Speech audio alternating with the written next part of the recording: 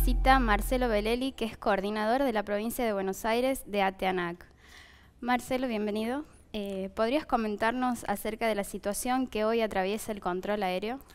Bueno, mira, nosotros en todo lo que fue el proceso que se encara del Ministerio de Transporte y desde el Gobierno Nacional, que para la opinión pública se vende como la revolución de los aviones, que lo que de alguna manera, según el discurso oficial, quería desarrollar era el transporte aéreo, el transporte aerocomercial. Desde ATE no hemos tenido una visión crítica de ese proceso. Nosotros entendíamos que el desarrollo de la industria aerocomercial lo que generaría es polo de desarrollo en las inmediaciones de los aeropuertos, puestos de trabajo, y entendíamos que era un desafío para todos los que pertenecemos a la administración pública darle contención a ese crecimiento que se quería generar. Lamentablemente, mm, después de, de un año y pico en los cuales hubo audiencias públicas, donde nosotros fijamos nuestra postura, nos vemos en la situación de que la ANAC, que es la máxima autoridad aeronáutica, es el organismo que tiene la responsabilidad de normar y fiscalizar todo lo que es el transporte aéreo en nuestro país y la aeronáutica en general, no tiene una política de crecimiento y un desarrollo que acompañe eso que se impulsa desde el Gobierno Nacional y desde el Ministerio de Transporte. Nosotros entendemos que en este contexto, en donde en el transcurso de un mes hubo cuatro accidentes, de los cuales tres de ellos tuvieron víctimas fatales, tuvieron eh, la, tuvimos lamentar la pérdida de ocho eh, pasajeros en esos vuelos, que eran vuelos mm, de vuelos privados. La ANAC no ha tenido una política para darle contención a esa situación de crecimiento y nosotros desde ATE hemos decidido empezar a poner ante la opinión pública esta situación que atraviesa el organismo al cual pertenecemos. Bien, y en este caso de los accidentes, ¿de qué se encarga la ANAC específicamente? ¿El control de, las aeronaves? Eh, ¿El permiso para volar también de, de los pilotos? Todo lo que tiene que ver con habilitaciones en materia aeronáutica dependen de la ANAC. Eh, la habilitación del piloto, la habilitación de la aeronave y luego los chequeos posteriores para ver si las operaciones que se generan eh, se generan dentro del marco de lo normativo, con pilotos habilitados y con aeronaves en condiciones. Hoy lamentablemente la ANAC, si bien tiene el proceso de habilitación previa desarrollado, no tiene un crecimiento en capital humano y en infraestructura para darle sostenimiento y seguridad operacional a ese crecimiento que se pretende.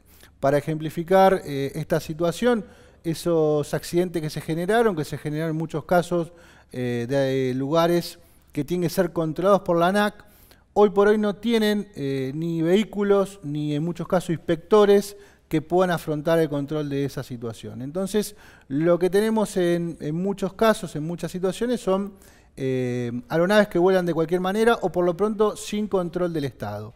Y nosotros en materia aeronáutica tenemos un concepto que es el de seguridad operacional, que básicamente tiene que ver con, ante situaciones de riesgo, anteponer barreras que eviten el accidente. Bueno, está a las claras que la ANAC hoy por hoy no está desarrollando una política que tienda a detectar situaciones de riesgo y a una vez eh, sucedido el accidente, establecer criterios que permitan eh, no generar nuevamente accidentes de esas características. Entonces, lo que nosotros hoy venimos manifestando y queremos mm, desarrollar es la idea de que el crecimiento de la industria no está mal, en tanto y en cuanto la ANAC, como máxima autoridad aeronáutica, como máximo organismo aeronáutico, crezca en consonancia con ese desarrollo. Hoy claramente no sucede eso y, muy por el contrario, se están despidiendo trabajadores que hacen tareas aeronáuticas, como el caso del aeropuerto de Santa Fe, que despidieron dos trabajadores que, que hacen tareas aeronáuticas. Bien. Esto también lo podemos trasladar a lo que es las empresas low cost, que también están presentando muchos problemas técnicos en los vuelos. La política de crecimiento de la industria de comercial que se impulsa, en muchos casos, y vuelvo a recalcar la situación de la ANAC, eh, tiene falencias. Digo, la situación general del crecimiento no es un problema en tanto en cuanto se controle la forma en la que se opera. Hoy por hoy eh, desembarcaron una serie de compañías aéreas, la más eh, conocida es Flybondi, que por ahí la que tuvo mayor cantidad de, incidentes. Eh, y sucede que el Estado no tiene una estructura para contener y controlar esa situación. Si vamos al caso de Palomar específicamente, Palomar es un aeropuerto que durante muchos años estuvo eh, a cargo de la Fuerza Aérea, no había prácticamente personal civil que brinde tareas y hoy para poder dar contención a lo que es Palomar tuvo que sacarse gente de San Fernando, es decir, vaciar el aeropuerto de San Fernando para poder desarrollar el aeropuerto de Palomar.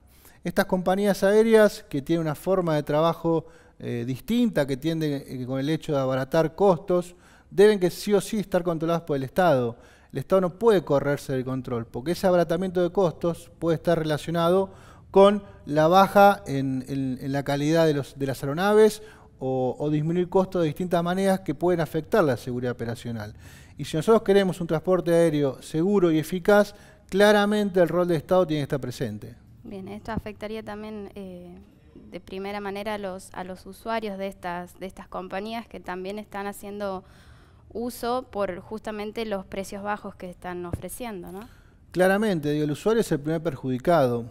Y por el momento lo que sucedió fueron situaciones eh, menores, eh, que no hayan podido subir el equipaje, no han habido cuestiones mm, que hayan aparejado un accidente o un incidente por el momento. Lamentablemente el pasajero evalúa los costos y a partir de evaluar esos costos entiende que es eh, mejor volar eh, en alguna de estas compañías aéreas. La modalidad low cost no es una modalidad que se inventa en este país, existe en otras partes del mundo y tienen que ver con abaratar costos no con seguridad, sino con servicios.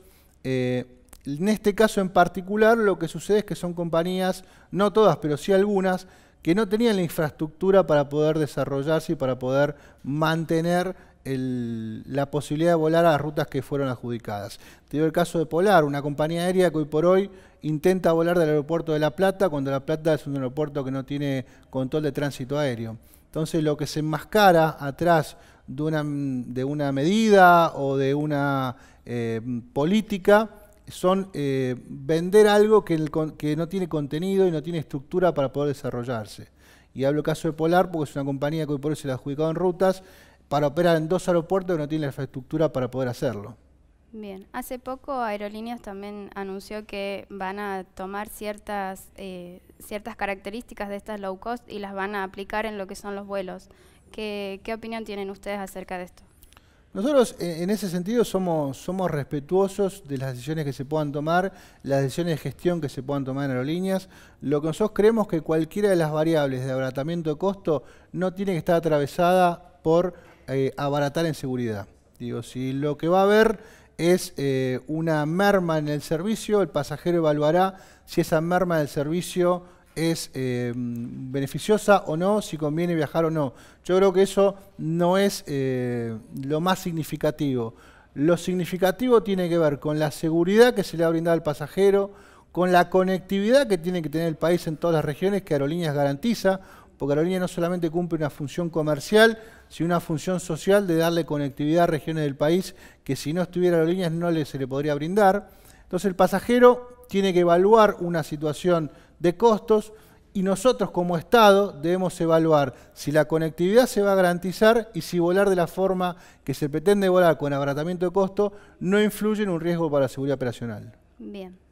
Pasando específicamente a lo que es la situación eh, laboral de los trabajadores de ANAC, ¿cómo están hoy?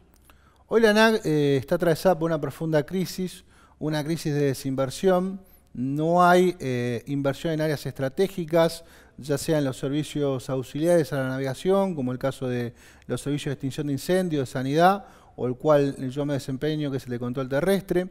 No ha habido un acompañamiento en inversión que vaya en consonancia con el desarrollo que tuvo la industria aérea. Hoy por hoy la industria aérea ha crecido un 20% respecto al año anterior, pero no ha habido en simultáneo un crecimiento de la ANAC como máximo organismo de control.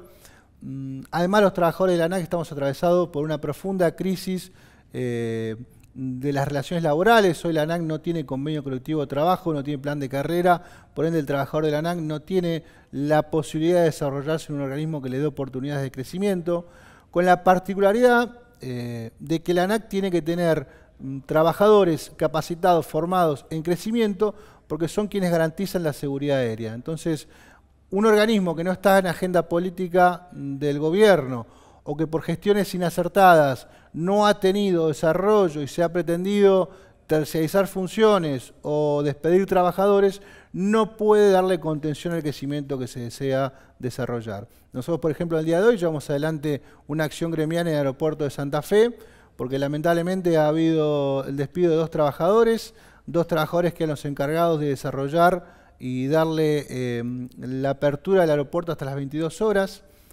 Santa Fe pasó de tener un vuelo a tener cuatro vuelos, o va en vía de tener cuatro operaciones por día, y la ANAC, en vez de crecer y de tomar más gente para poder darle eh, contención a ese crecimiento, lo que ha decidido es despedir dos trabajadores. Entonces nosotros lo que nos vemos es una inconsistencia respecto a lo que realmente pretende o a lo que dice pretender el Gobierno Nacional y el Ministerio de Transporte con respecto a la política que lleva adelante la Administración Nacional de Aviación Civil o quienes la gestionan. La ANAC y sus trabajadores hoy por hoy estamos eh, atravesados por una crisis, una crisis que si bien no es de esta gestión actual, viene eh, de años, mm, una falta de visión estratégica de cómo la ANAC se debe plantear en el marco del crecimiento que se pretende, no se invierte en áreas específicas para poder garantizar un servicio eficiente y seguro, hay aeropuertos que no cuentan con los servicios mínimos para poder eh, operar, por ende las compañías aéreas no pueden volar porque los seguros no van a cubrir operaciones sobre aeropuertos que no tienen la infraestructura ni los servicios que debe tener. Entonces lo que nosotros vemos es eh, que la ANAC no tiene un plan estratégico de desarrollo, que los trabajadores no tienen la posibilidad de desarrollarse en un organismo y que bajo estas circunstancias la ANAC no tiene ni estructura ni cantidad de capital humano para poder afrontar ese crecimiento que se quiere desarrollar. Bien. Marcelo, muchas gracias por haber venido. No, muchas gracias a vos.